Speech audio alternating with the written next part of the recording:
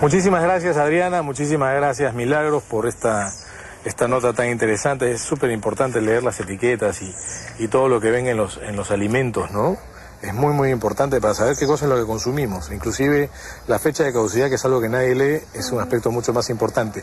Estamos con el doctor Fernando Salazar, él es médico gastroenterólogo, quien tiene la gentileza de acompañarnos esta tarde tan fresca a ayudarnos a resolver algunos mitos con respecto a la tolerancia o intolerancia a la lactosa. Fernando, ¿cómo estás? Buenas tardes, bienvenido. Buenas tardes. Muchas ¿Cómo te va? Por la invitación. Cuéntame, ¿por qué se da la intolerancia a la lactosa? ¿Quiénes son más intolerantes? ¿Es una cuestión racial? ¿Es una cuestión de edad? ¿Cómo es el asunto?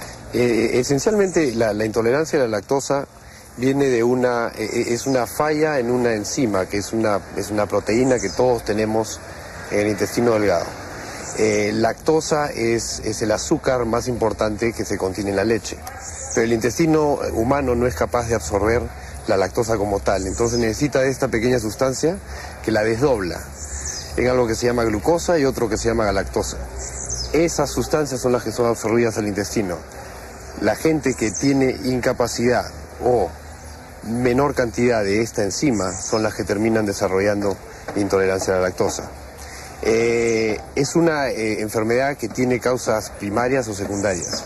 Las causas primarias, esencialmente, las que se escuchan, que son esencialmente genéticas. Depende de qué parte del mundo eres, qué tan pronto o qué tan bajo funciona tu enzima de lactasa.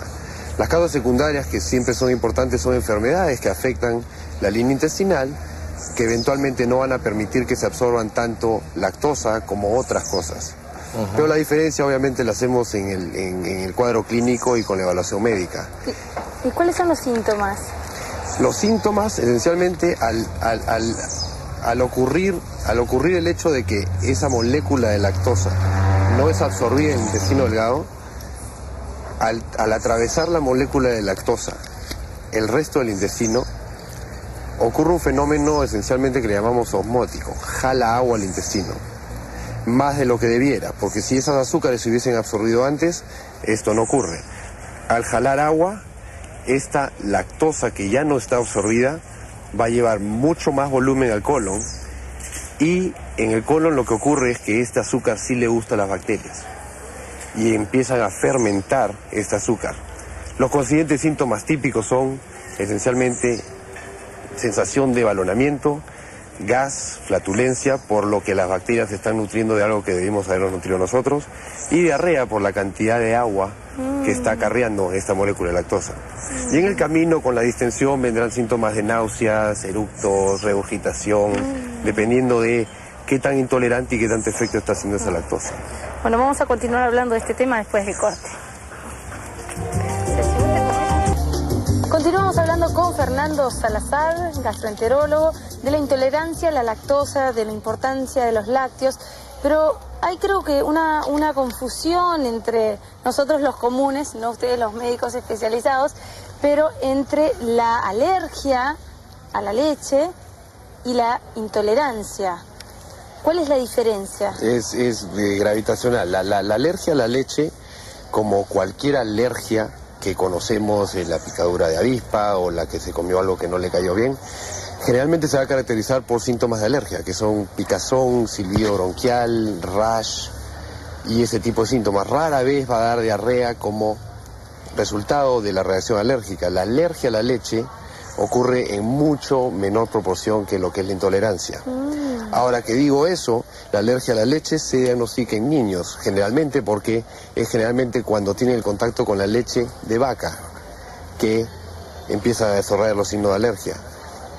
2 a 3% de los niños en el mundo son alérgicos a la leche. ¿Ok?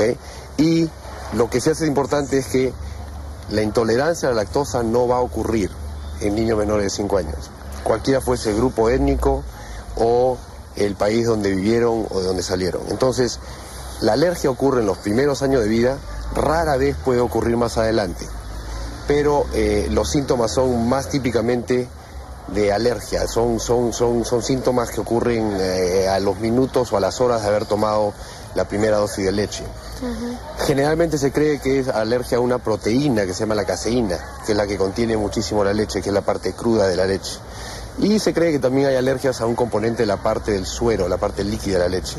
Pero esencialmente e, e, e, esa es la diferencia. Una cosa es eh, síntomas de alergia y otra cosa es simplemente no tolerar. Qué bueno que lo menciona, Fernando, porque el alimento, el principal alimento alergénico en niños es la, leche de vaca.